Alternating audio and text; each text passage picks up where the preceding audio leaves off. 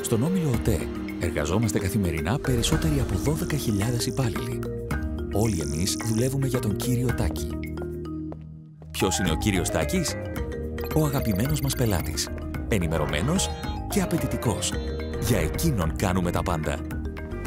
Τι θέλει ο κύριος Τάκης; Τι του λείπει; Θα δει τα νέα μας προϊόντα και τις υπηρεσίες; Πού θα τα δει; Θα τα αγοράσει; Πόσο θα τα χρησιμοποιήσει; Πού θα πληρώσει; Θα μείνει ικανοποιημένος; Μήπως χρειάζεται βοήθεια ο κύριος Τάκης; Όλα αυτά είναι η εμπειρία του πελάτη. Το Customer Experience. Και για να το διαμορφώσουμε, συμμετέχουμε όλοι ανεξαιρέτως, σε όποια θέση και αν βρισκόμαστε. Είμαστε όλοι στην πρώτη γραμμή για τον κύριο Τάκη. Ας πάρουμε όμως τα πράγματα από την αρχή. Βασικό κομμάτι της διαδικασίας είναι το Engage Discover. Πώς θα μάθει ο κύριος Τάκης για τις νέες υπηρεσίες και τα προϊόντα μας; Πρέπει να του τραβήξουμε την προσοχή.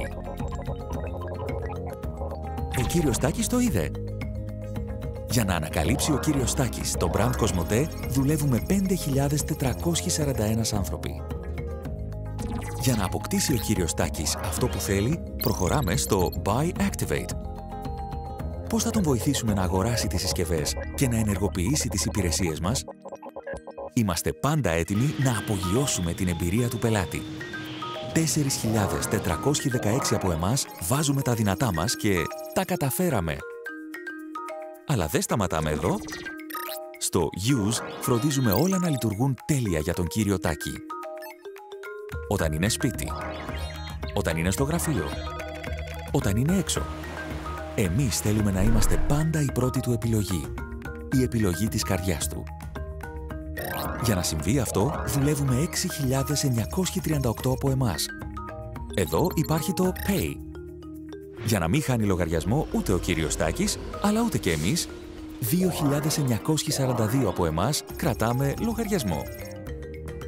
Και αν ο κύριος Τάκης έχει μια απορία, ένα πρόβλημα, μια επιθυμία, Request Support. Εμείς είμαστε εδώ. Καλημέρα σας. Είμαι η Ελένη. Πώς μπορώ να σας εξυπηρετήσω; 9.217 από εμάς είμαστε πάντα εδώ για τον κύριο Τάκη. Για τον κύριο Τάκη, αλλά και για εκατομμύρια πελάτες μας σαν τον κύριο Τάκη. Η λύση είμαστε όλοι εμείς. Στην πρώτη γραμμή. Για να είμαστε η επιλογή της καρδιάς του.